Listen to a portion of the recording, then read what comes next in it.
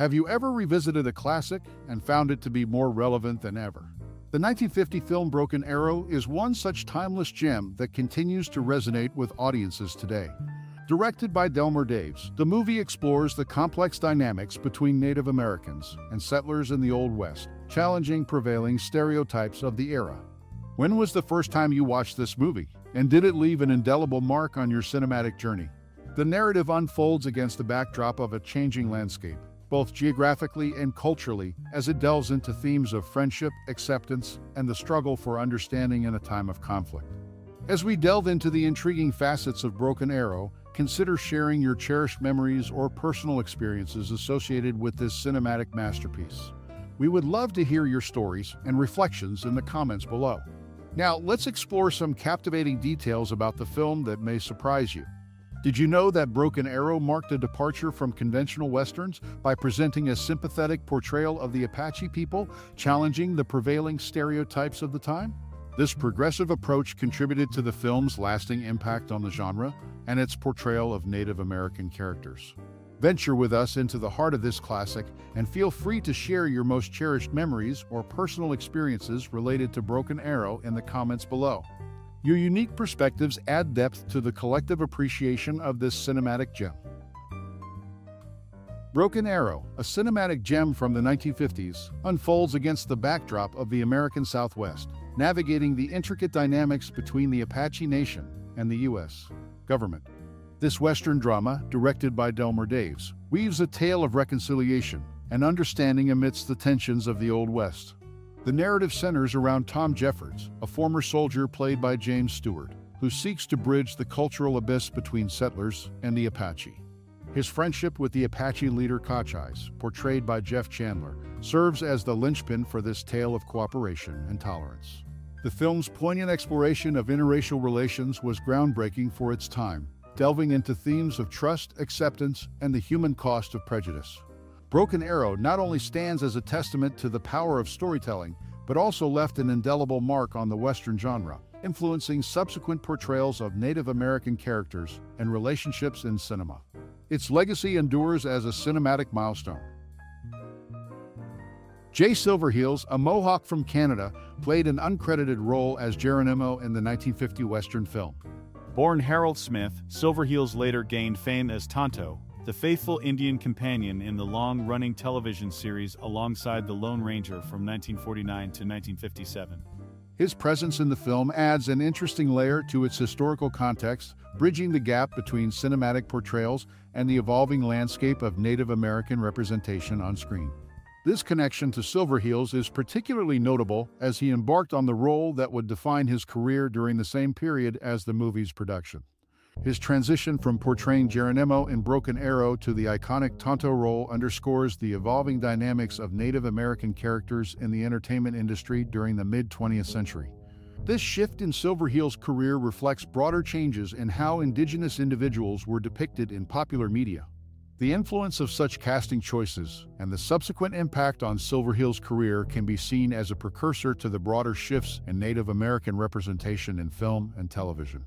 It's a testament to the complex interplay between Hollywood's portrayal of indigenous cultures and the real-world experiences of Native actors during that era. Silverheels' journey from an uncredited role in Broken Arrow to the prominent role of Tonto not only speaks to the versatility of Native actors, but also highlights the industry's evolving understanding of the importance of authentic representation. This transition set the stage for further discussions about cultural sensitivity and accurate portrayal in the years that followed. In retrospect, Jay Silverheels' presence in the 1950 film becomes a pivotal point in the timeline of Native American representation in cinema, foreshadowing the significant roles that Indigenous actors would come to play in shaping on-screen narratives. The uncredited Geronimo in Broken Arrow laid the groundwork for a broader shift in the industry, marking a turning point that would contribute to the ongoing conversation about diversity and authenticity in film.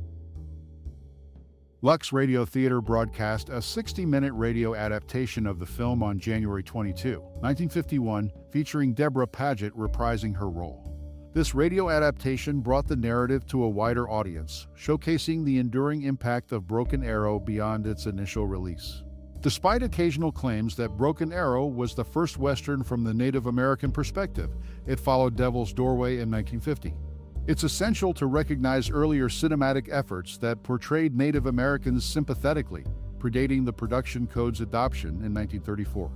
Moreover, on September 7, 1951, Screen Directors Playhouse aired another radio adaptation, this time with James Stewart and Jeff Chandler reprising their roles.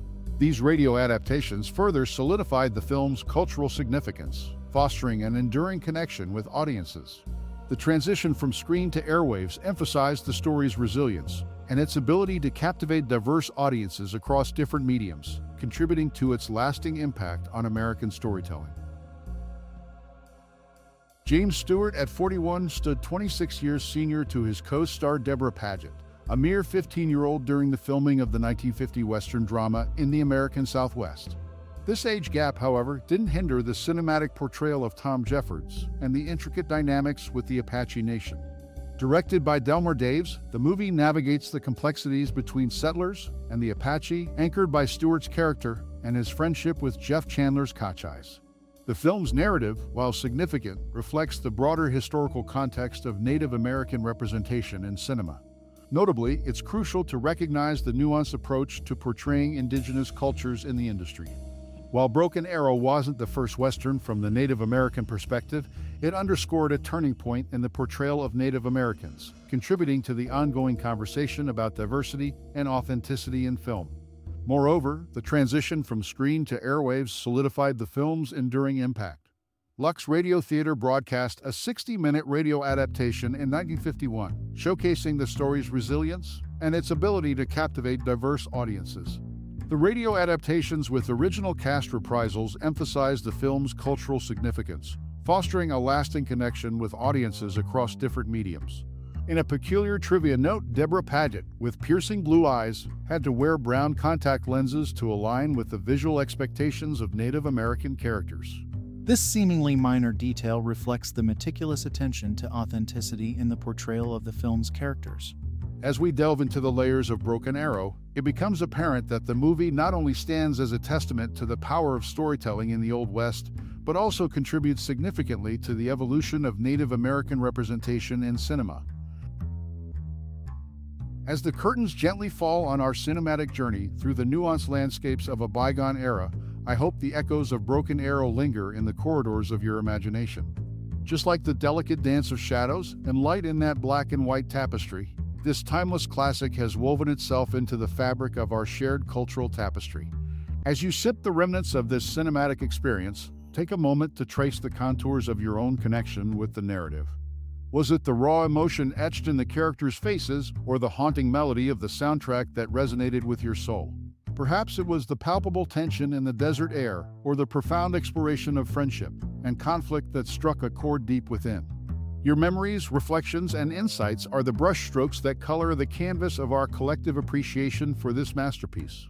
Share your thoughts, let them reverberate in the digital spaces we occupy, and carve out a corner of the internet where the spirit of Broken Arrow lives on through the eyes of those who cherish its moments. In this age of fleeting digital encounters, let's forge connections that withstand the test of time.